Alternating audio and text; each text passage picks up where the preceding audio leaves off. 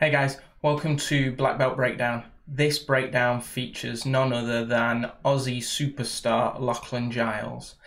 This breakdown was from his 2018 match against Haisam Rida.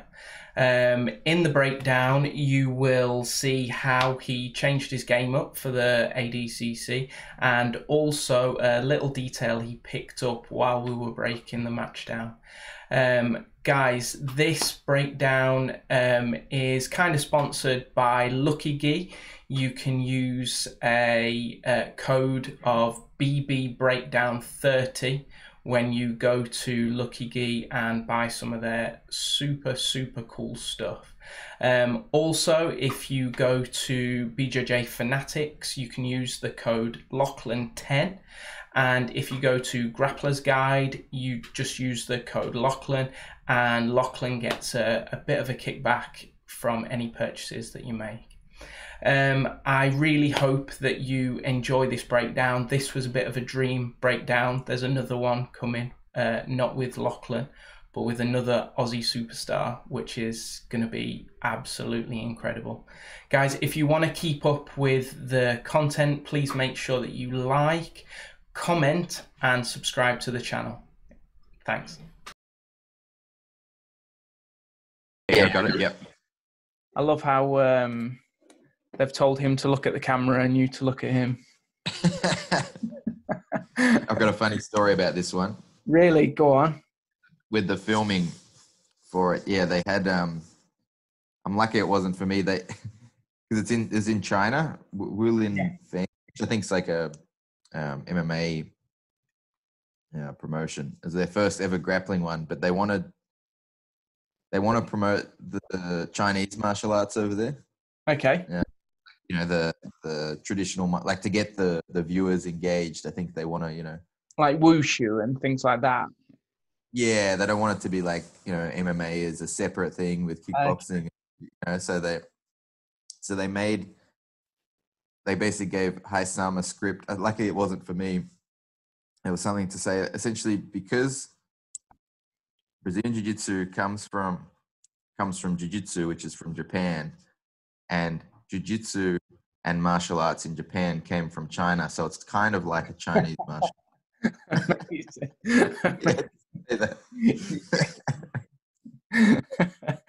That's amazing.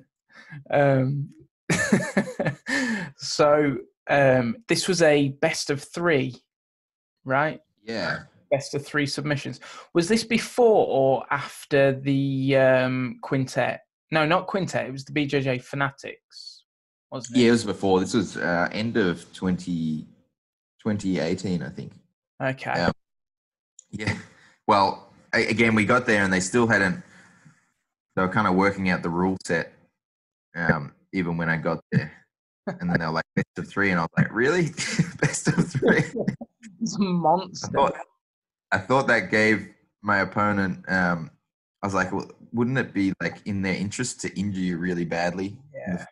You can't continue. But um, anyway, especially Yeah. considering um, the heel hooks as well. I mean, we'll get we'll Yeah. get into it. I've obviously seen this match um, a few times, but yeah, if you were that way inclined, definitely you just tear his heel off. like, lucky he's not. You know, he was, he was nice. But yeah, Yeah. like. Uh, all right. So, first thing I thought was, I knew he was big, but when he stood across the cage, he looked a lot bigger. that was the first thing I, yeah, I was thinking here. So, th- okay. First off, was I wanted to, you know, if I saw an opportunity to to go for a takedown, but was obviously a little um, hesitant with. I'd seen he did a few. Um, oh, so wait, when you said quintet, you're talking about Haisam doing quintet or yeah, me doing? yeah, him. Haisam, yeah, Hais, yeah, Haisam had done done the quintet. Yeah, he had before before this. So yeah, I had seen his um that he does a few jumping attacks as well. You know, like he would jump a triangle or, or um, something of the sort. So I was, I was wary of that. Um, and I was also just just generally aware of he liked, you know, he, he had a few toe hold wins as well. Um, so he liked to go for toe holds, which I think was something that actually ended up working in my favor. Um, that's where I was a little hesitant not to overextend my hands um, in the standing position. Okay. I must have got poked in the eye there. Not scratch. Okay. Uh, so I think I end up pulling single leg X um, a moment. And I tried to, I, I knew I wanted to get to his legs. Like that was a pretty obvious part of my strategy. So yeah, I thought in that scenario, he's pressuring forward. I could actually like fall right underneath. Um, but you've got someone who's very tall, and it is hard to play single X against someone that tall. You know, uh, if, you, if we go back, As you get the single leg X, he um, he pushes away the the inside position, the inside. yeah, But you, so when I do that, I end up either getting like S mounted or just squashed, sat on, and you do Yeah. a, an awesome job of keeping him away. yeah. Yeah, let's have a look at that. Actually, let's. Um, so, so I've just got single. The issue against tall people is usually that if we look here, that right leg of mine, the, the one on the inside, Mhm. is a that's like a block to them going to mount. Like that knee blocks their hips from coming forward. Yeah, exactly. But what happens when they're tall, if he stands tall, it's very hard to keep my hips that high that I can stay attached to there. Even even like I, my my left leg, my outside leg will be back heeling, trying to like that almost like elevates my hips and the right leg remains a block. But I think you'll see him stand up in a moment and, and I'll kind of lose that tight connection that I've got right now. Um, let's see. Yeah, there. Okay, so now that that knee's dropped below the line of the of the hip. So here's yeah, I'm trying to recover here. Ideally, actually, my, my favorite way at the moment anyway is to use my left leg as like a like I hook underneath and block their hips. I think people are calling this like butterfly X or I don't know, or it's kind of like you're doing a De hook, but you're so my left foot hooking in front of the where basically my, where my right hand is. Ideally, I'd be putting my left foot there to um to push him away. But So right on your right hand side, fully on your right hand. yes, yeah. So ideally, as soon as like a, my outside leg gets cleared, that left leg, I use uh, lately I'm I'm hooking it underneath and in front of the hip. So as soon as that into profits. there. yes, yeah. Okay. But against someone taller, I'd probably almost go to that as a default these days. Yeah, so that's probably something I've adjusted a little bit. and would your knee be on the outside, almost like the the Musumeci footlock position, or would it go? all Yes, yeah, yeah, knee on the outside. Yeah, exactly. on the outside? Perfect.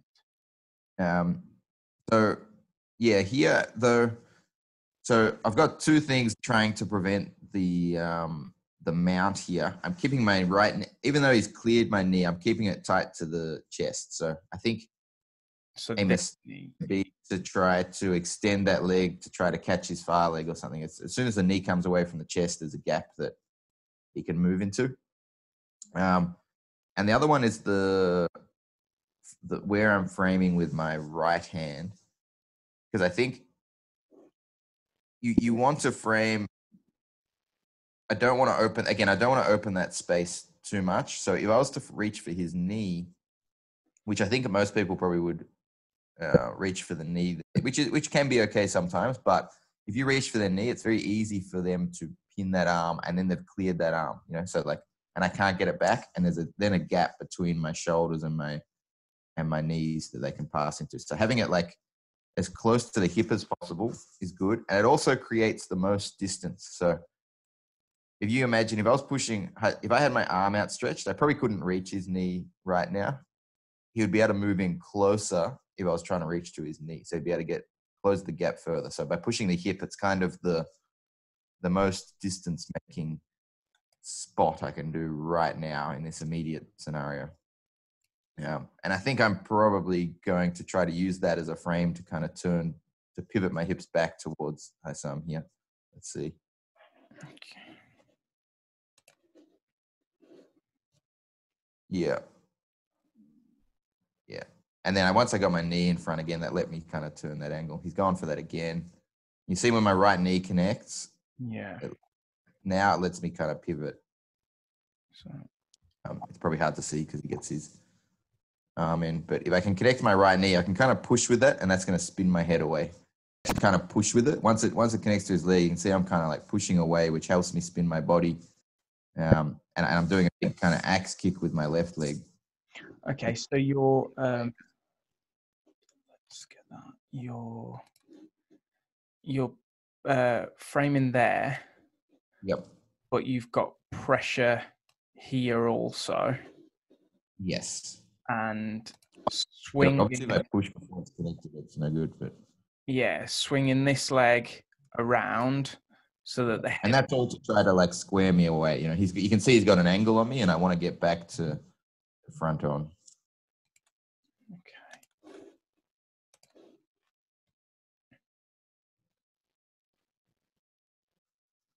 Now he's going back the other way, so they can. The other thing against tall people, you got to watch the back step. So I've gone to outside Ashi, which I wouldn't do these days, but here we are. Why wouldn't you do it these days?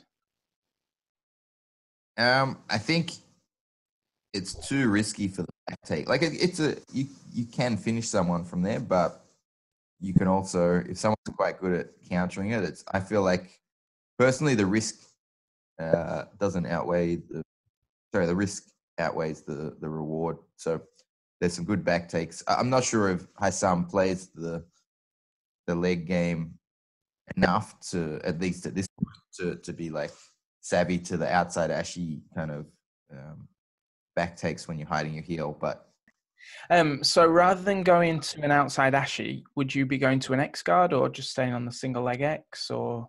to be honest, now I would go. So I actually would. You know how I said I put my. So I would be putting my left foot in front of the hip, so taking it out, looping it under, kind of like that Eva type position, but in front of the near hip. So I, like just hooking on the on the other side.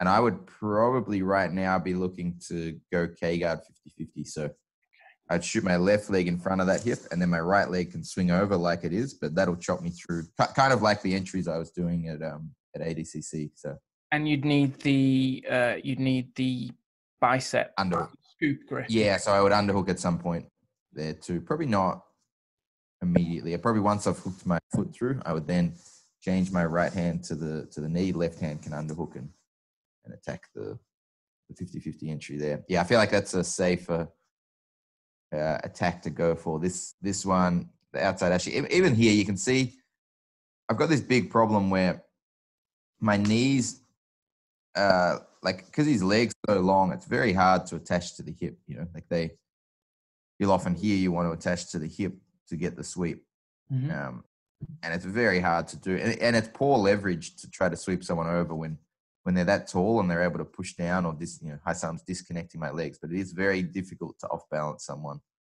that tall from outside Ashi. I feel like um, once you've connect, and the issue is really this um, this right leg. Um, so my right leg here that I've taken now to the to the camera side of the body, but it's no longer as good of a frame. So having the shin in front was a good frame to keep distance, whereas now that the legs across, it's much harder to frame with that leg. So if someone starts to put you in bad position, it's, it's, it's almost like a, a leg drag. Um, yeah, Yeah. Current thoughts on it. I mean, I, so- some, it doesn't mean you can't heel hook. You can definitely heel hook someone. So his arms backstepped off that, and I invert to to recover back, but he manages to free his foot um, due to the looseness of the position. So, all right. Just a, a sort of an opponent who's this tall.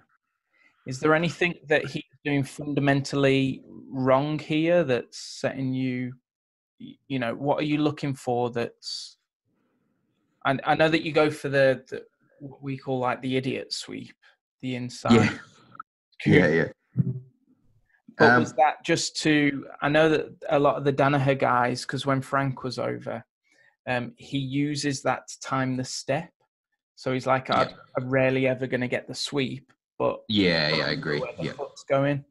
So is that the same? Is that a similar sort of game plan to what you were thinking? Yeah, usually with that sweep, I'm, I'm, ex- I'm hoping it. Well, if if it gets them over, that's good. And if I often just it kind of makes them not take a even stance because I think keeping both legs far away is probably the worst case in terms of trying to get to their legs. So if I can make him stand in a staggered stance, um, one leg forward, then I feel like I've got a much better chance at at attaching to single leg X. Which I was again that was my my strategy for this was shin to shin, getting to mostly using shin to shin to get to um, the legs. Although I, I also had a I had seen he likes to do this kind of Toreando, which he does, and he's he's successful with yeah. it. Um, but I, I like to try to to snatch 50-50 as people do like a high hip Toreando. I like to try to spin underneath. Um, so I try. I think I I think that's actually why I got past because I kind of I tried to counter him off that, but it didn't work. I luckily got it later, but yeah. Um, yeah, so I mean, the, the risk against a tall person, they're going to try to go around your legs a lot, I think. Whereas, you know, you can kind of expect that, and he can keep his legs very far away, but still reach with his hand. Oh, that was yeah, that was nice. Yeah. So he so stepped over my thigh. Mm-hmm. Nice. And picked up my kept me seated. Look at his left hand, keeping me from like dropping back because I want to I want to fall back and, and invert here to try to catch the 50-50, but he's he caught my shoulder. That's that's uh, actually should analyze that more. That was a that was a good move. Yeah, yeah. So he's got he's got just underneath your tricep, and he's pulling yeah. right. Yeah, well, it's because I would right now. What I would like to do is spin my head right underneath, like into basically north south, but put my uh-huh. head down. I'm gonna let my right leg try to thread through for 50 50. Yeah. Um, I basically do this kind of motion later in, in a weird way, but um, yeah, um, that would be ideal in, in this scenario. So can we?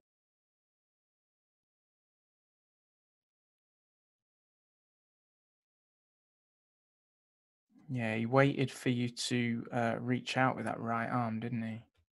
Yeah.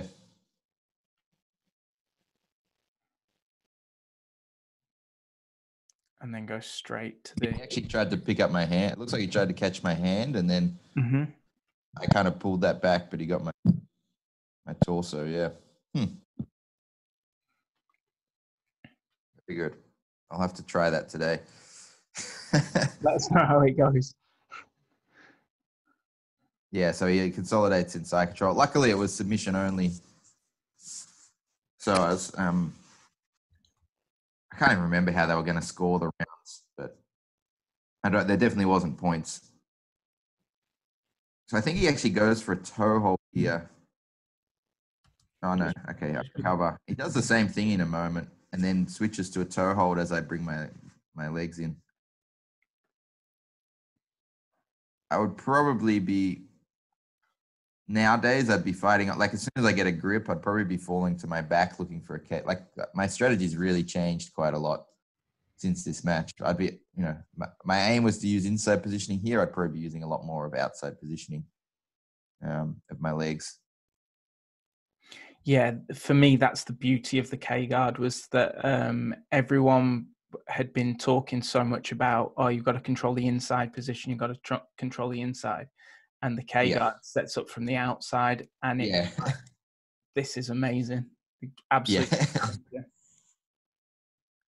yeah, it's a that's a good um, different approach to to use. Oh yeah, he jumped over. That's right. Yeah. Okay, we're almost in the same position here, but now see how I got to invert through, which let my leg uh, thread through there. So if we go back one moment. Um, so it wasn't exactly the same part. So this is one of his jumping attacks that I had to be wary of. So I kept my knee up, thankfully. Mm-hmm. Um, which are kind of like in a single leg X type position, to be honest. But I managed to thread my right leg through. So now this is almost 50 50 here. This is like, this is the position I would end up with when, when I get K guard and I'm shooting the, well, to, to some degree, like, like when I'm getting K guard and I'm shooting my leg through. Yeah. Um, but but because I was able to swing my head underneath that time, that's why I was able to, to invert. Kick his, it's interesting actually. I used my leg to kick him out just to try to stretch his legs apart a bit before I spin back. Um, and now I, I managed to catch the heel hook. So I actually don't have perfect. Um, you can see I've actually got it a bit close to. Like, in terms of my mechanics here, probably lucky he's got a big foot. Um, in that I've got the the heel at the elbow, which I, I tell people not to do. um, Yeah. not i guess uh, i should always say you can make the good thing about the inside heel hook is uh, like i usually teach people like all the i would say are the ideal mechanics but you can make like two or three mistakes and still finish an inside heel hook like it doesn't have to be perfect um, but if you're making too many mistakes your, your chance of it slipping or, or losing it is too high in so in this scenario his his heel is pretty close to my elbow um, which and, and his toes are probably a bit high on my my armpit for, for what I'd like. But if they've got a big heel, it doesn't matter so much. It's if they've got a, a small, you know, it was a if, if the situation was reversed, maybe I would slip out of Hassam's Yeah. uh, heel hook, with my leg being smaller and his his arms being and gaps being wider with a with a grip like that. Um, now we're in this scenario where I've actually got my right foot stomping. You can see my right foot stomping on the hip. hmm It's not until I get my bridge that I actually was able to to finish. Maybe we go back. Oh, sorry, I was talking about the hands first, but we'll go back and have a look at the um, the finishing mechanics there. So if you just tell me when.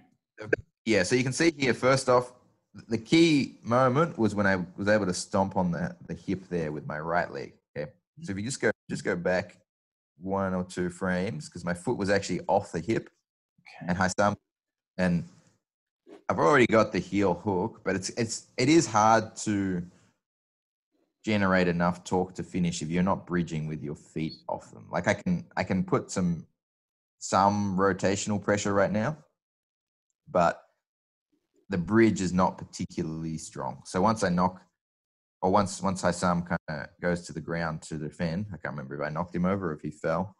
Um, he gets his hands in, which is a, um, where it starts to become a bit risky. Like he's got a good chance at stripping the grip with the hands there. So you see my foot's still free.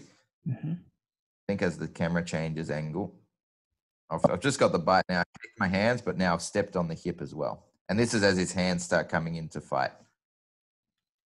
Okay. Now, the so I, I generally think if I'm stepping on my opponent's hip and bridging, it'll usually overpower their ability to fight with their hands. Obviously, Hassam's a lot stronger than me, but I'm using my whole body with that bridge, stepping off um, his body, and that's going to be a pretty powerful fight. Whereas without that foot there, my hand, it's basically my hands against his hands. I would probably lose that battle. In fact, I might in the next I think I tr- I got the same position, but not with my foot on the hip, and I I wasn't able to finish, and I I changed to outside Ashi and, and went to, to finish from there. So you can see if you look at that. See when I when I say the rotation, now that's actually t- when I rotate him here.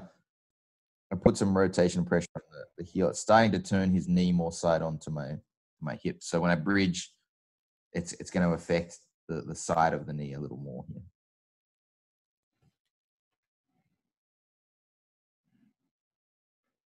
Yeah, now I've got my hands connected, feet are on the hips. I start to bring my hips in. Yeah. And obviously got the the tap with that. And you can see that kind of broke through the the power of his grips. Yeah, absolutely. Um, so then we had to fight again. This seems great. was pretty happy with that. I was like, okay, I go, uh, you know. Um, yeah, I have to actually be careful not to get counter heel hooked here. If he had a set back for my heel, I'd probably do it a bit differently now. Yeah, all of 2019 was inside heel hooks. I basically abandoned the. It was pretty shortly after this I stopped playing outside Ashi. not that, not that I again, people have, well, occasionally people have misquoted me that uh, into saying that outside heel hooks don't work. That's definitely not what I've said. I just said I just don't prefer it. I don't prefer to go to the outside Ashi or the outside heel hook. If I have an opportunity, I will, I will, um, I will feed the leg across to the inside and chase an inside heel hook. So I think I wanted to try to wrestle, but he had a very good sprawl, so I, I bailed on that. Um, and so here I am framing to recover guard, and I think he went for his own leg lock there, which was good for me. I've gripped the. When he goes for the when he goes for your legs, um, Yeah. and obviously you've got the confidence of being a, a more dominant leg locker. What what's the thought when somebody goes for your legs and you're just like, this isn't going to work for you? Is there is there something that happens, or is it just a confidence? I think I, I still, I was still. I mean, obviously, I, I was still. Um, you have to respect, you know, like he could definitely, um, if he gets the right position, could could do some damage and and win the match with a leg lock. So I wanted to make my my knees stayed tight to my chest. I think when he sat over, my knee was free, so I was very comfortable now because my knees were were lower than his hips. So I think if you, if you go back again just watch that, just play that through you'll see I tried to keep my as he went to sit over, I really tried to keep my knee tight to the chest because if he sits over and he's just got my shins and foot trapped, I'm not too worried about a toe hold. Um, but if my if my whole knee gets collected, yeah, here we are. So Yeah. So it's it's closing that space there, right? Um, yeah, I mean, I was aware that that would might be something he looked to do. So I kind of I think I probably sensed it. It's closing this space. Yeah, yeah, exactly. I've got my left my arms framing it, and that allows my legs to come back in and, and close that distance. Yeah, there we are. So there's one and then the other comes in. Yeah, so now that I'm behind the hips, I'm I'm pretty pretty comfortable to to try to actually I think I wanted to pull his leg across and, and kind of force a leg entanglement again, but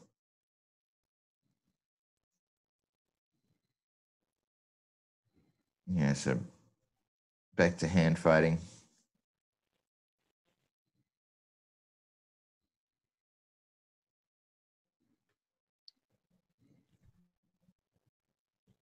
So I tried to spin under the 50-50 there, but he actually turned the other way, and it looks like I'll get I'll get there, but the the long way. So this is that kind of um, invert I was talking about. Didn't quite look how I said, but this gap for his hips here.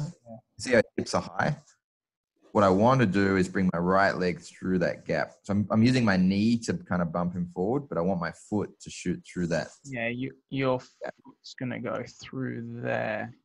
So, so if you compare that to before when when he held my arm and I couldn't bring my head underneath, now I've actually got my head um, through, which is which is going to make it a lot easier to to work towards. But he actually so that's normally if, if he was to stay where he was, my aim would be to swing my right leg through. But he actually steps his left leg over. So I end up in I think I end up in 50-50 eventually, but it's kind of a weird, it's not how I would like I guess it doesn't look how I would teach it to people. Put it that way. Yeah. Over and now my right okay, so now I'm in 50-50 kind of a, and straight on the heel here. But this time I don't think I've got my foot on the hip. He's blocked my my right foot is not in the position to be able to to bridge. My left foot's over. But, oh no, it is. Okay. What what did I feel here? Maybe he. Let's see. Let's see what happens. Sorry, I can't even remember what what happened in this match. So you've got your you've got the the heel, the Yeah. grip, and then yeah, your foot's sort of on his center line. Yeah. So that's. I think that's fine for my leg position. I think I don't have a great bite of the heel here. I, I'm really not like.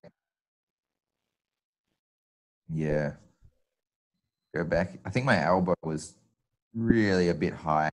I want I want my elbow like locked into my side.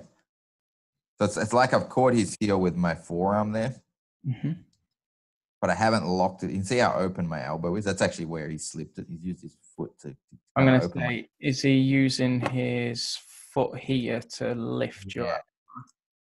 Yeah, he's lifted my elbow even further, and that's um that's slipped his his foot. Let's just go back a couple of. Um, Um, one second. and he's also stripped my hands from connecting. So Yeah, my quite open. I think like you can see his toes are not really caught well at all. It, it looks like they're his toes are right in my armpit and not not locked in by my side. So I think I get it. I'm, I'm kind of looking at how I would be doing it differently, you know, now compared to then. And I think I, I would probably be getting a slightly better bite first. I probably looked for the finish a little too eagerly without making sure my grip was, was tight. Um, and I think that's that's a mistake that I think I corrected. Uh, 2019, I, I, think I made some huge. This is 2018 and 2019. I, I kind of made some adjustments to my leg game, and that was one of the issues I'd had in the past. Is you know, for, for a few years I had I had been doing heel hooks, and I would catch. I would like catch a heel hook in a competition, and as I went to like bridge or apply pressure, it would slip, and that pretty much didn't happen in 2019. I think it was just like taking the time to to get a really good bite before you worry about putting the pressure on second. And as I said in the previous one, it doesn't have to be perfect. Like you don't have to have every single um, part of it, you know, ticked off, but it needs to be like tight enough that you know when you put that pressure on, or if someone's like pulling on your hands or trying to kick your elbow, that it's not gonna it's not gonna slip, and then you can apply bridge second to that. Um, so then I again something I probably wouldn't do now is I took the the foot to the other side. So if I could say now, what I would try to do as he's coming up to standing is invert underneath, and that will expose the heel again on the invert. Yeah. Um, I've actually taken the leg to the other side, which which worked well for me. But again, I I feel like that would be a riskier thing to do these days. I've taken the leg to the other side and I go outside heel hook.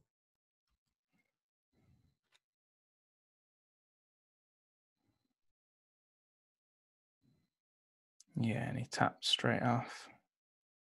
Yeah.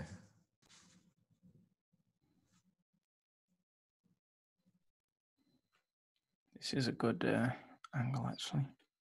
Good angle, yeah. So I get the bite connect my. Oh, here's my terrible shot. We're not getting underneath that shot. Anyway. We'll keep going. Yeah, so it's a good one to look at. It's um, um you can kind of see that, that was I think like a good a good match, which was in the transition period from going for like the traditional leg locking positions into the 50 50. Like I was kind of starting to, play more 50 50, but I hadn't maybe uh, fully focused on it as much as I as I had, you know, a few months. You know, I think probably from that point onwards for the next like six months was was like a huge um, part of development and and working that K guard and uh, I think six months later I had the, the game that like the, the outline of the game that you saw at, at ADCC. Yeah. Um, do you have any? Do you have anything else coming up? Right now, it's Australia. Until, yeah. yeah, I, I, don't know when we're um, going to be open to international travel. So I, I think that'll probably be the, later in the year, uh, like towards the end of the year. But um, I've got, I mean, ADCC 2021 is the main aim. So I'll be mostly, you know, working away at my prep for that, um, and try and do some some uh, competitions in the lead up to that. I think will, you know, will be the. Doing all just your, are you going to be doing all of your training in Australia or traveling? Or... Pretty much. I mean, I'll try. I'll probably try to go get on a few seminar tours, or if I compete, do seminars um, in and around that. But otherwise, yeah, know, mostly in Australia.